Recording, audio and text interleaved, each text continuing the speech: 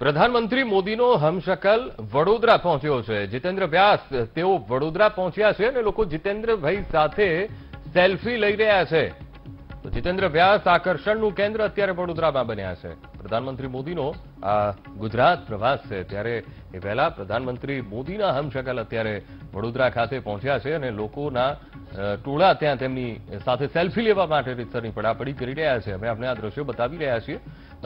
PM Narendra મોદીના હમશકલ છે. જીતેન્દ્ર વ્યાસ જેઓ અત્યારે વડોદરા ખાતે પહોંચ્યા છે, લોકો તેમની સાથે સેલ્ફી લઈ રહ્યા છે.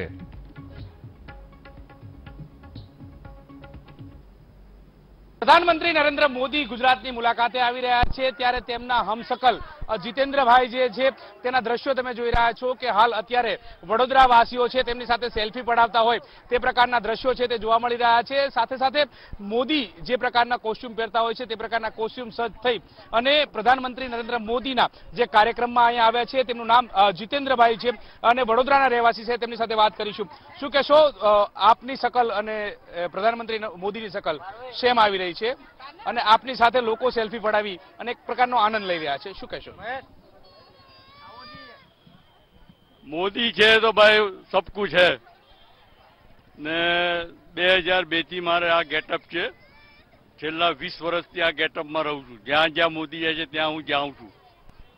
તમે એમની સાથે ફોટો પડાવેલા છે કે એમને મળ્યા છો ક્યારે હા મળ્યો છું. વારાણસી ત્યાં ચૂંટણીમાં ઉભેલા ત્યાં ગાડી ગયેલો. બાય પ્લેનમાં લઈ ગયેલા મને.